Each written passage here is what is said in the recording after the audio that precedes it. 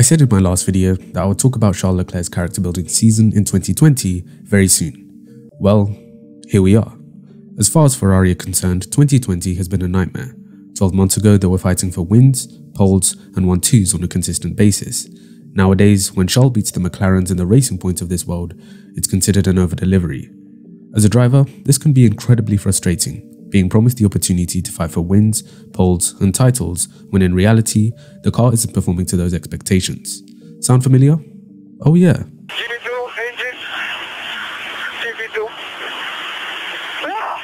I've been thoroughly impressed with the way Charles has dealt with the ups and downs of this season. He has consistently put that Ferrari in positions it never should have reached. For a car that down the straight is no faster than a Fiat Panda, Leclerc is dragging the SF1000 in a similar fashion to Fernando Alonso in 2012. So I want to give my opinion on his season so far and why this is the most important year of his career to date.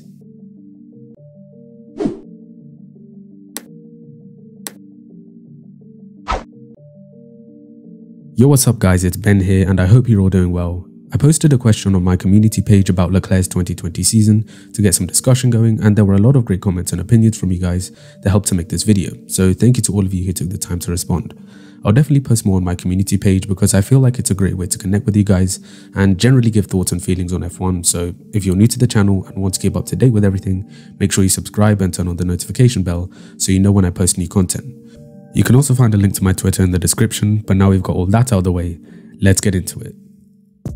Leclerc's first year could arguably be considered his most important in proving his talent as a driver. Without his great performance in 2018, Ferrari would have never called him up to partner Sebastian Vettel in 2019, but realistically, there wasn't too much pressure on him to perform. If anything, he had nothing to lose, going all out every single weekend. His first true test came when going up against a full-time world champion in just his second season.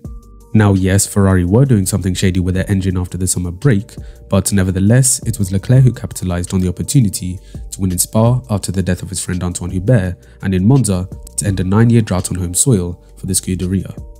It could be argued that 2019 was his most important season, in that it established his number one status within the team. Since then, Ferrari's fortunes have somewhat changed, and they are currently at best the 6th fastest team in Formula 1. So what actually happened? Well, a number of engine-related rule changes appear to have affected all Ferrari-powered cars the most, as they are significantly slower on the straight compared to 2019. Their car is also lacking aerodynamic efficiency, with team principal Mattia Binotto suggesting that they were developing a car around a much faster engine until they were hit by the technical directives. Charles has become the leader of the most decorated team in Formula 1 history. To live up to that kind of pressure at such a young age is extremely difficult. But with that pressure comes extra motivation, according to the young Monegasque, as he feels he is getting more out of himself as a result. He is carrying a very heavy load at the moment, but the experience will most definitely have a long-lasting effect on his F1 career.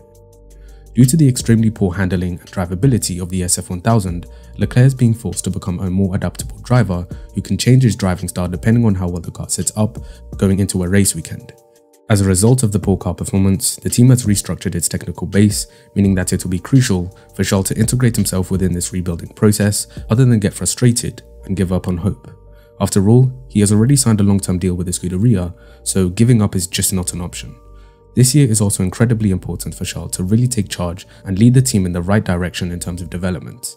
This will most likely be more aimed at the 2022 regulations as realistically they won't win another race until then. In these difficult times, Charles will need to act as an inspirational figure and pull everybody together to bring Ferrari back to the front of the pack. Keeping everybody motivated and focused on improvement will help Charles not only deepen the relationship with his engineers, but also develop leadership skills that will come in handy during a championship fight. As for his driving, we all know how incredibly fast he is, especially in qualifying. His most recent P5 at the Tuscan Grand Prix is a great example of his amazing raw speed. His race pace, racecraft, and especially tyre management have all improved since last year, even though he may not be controlling the races from the front. I admit, he hasn't been perfect, especially after his lap 1 incident in Styria, but he is very self-critical and will always own up to his mistakes. He will also need to improve on his ability to read situations and make the correct decision in the heat of the moment. This is something that I think will come with more experience and better understanding of what race strategy is best in different scenarios.